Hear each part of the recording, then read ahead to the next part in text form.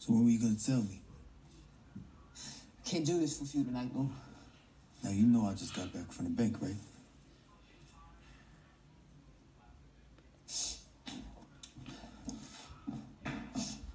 Let's do the same shit again. What you got? You up in my label. I'm been in the label. Your piece was always my piece.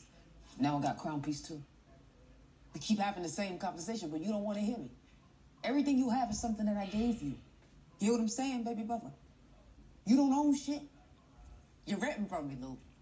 I bought and I've sold you a hundred times over, son. Well, you just too up in your own shit to see it. Was I up in my own shit last night? When I lit up them Jersey motherfuckers? Or was I up in my shit when you had me hit Kanan's boy? Because I for damn sure wasn't up in my shit when we put down scrap. No, no, no. I put down scrap, nigga. You didn't have the heart for it. Come on. You wanna know something, Lou? I fucked that shit up. Scrap wasn't no snitch. It was his damn mama. Yeah, hitting him like that was a mistake. And I gotta live with that, Lou.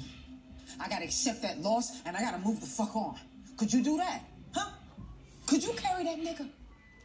Because that's the job. That's what I do. Because if I don't do that, y'all don't eat. we keep doing this, Lou. Same shit, talking the same talk. Then you're gonna, you're done and you're gonna walk away. It's just noise, Lou. Shit that you say to make yourself believe something gonna happen that ain't never gonna happen. You ain't going nowhere because there ain't nowhere for you to go. You know, I keep waiting for you to figure it out, Lou. To see what's as obvious as a nose on your motherfucking face, but you ain't never gonna see it. So I'm gonna have to say it out loud for you.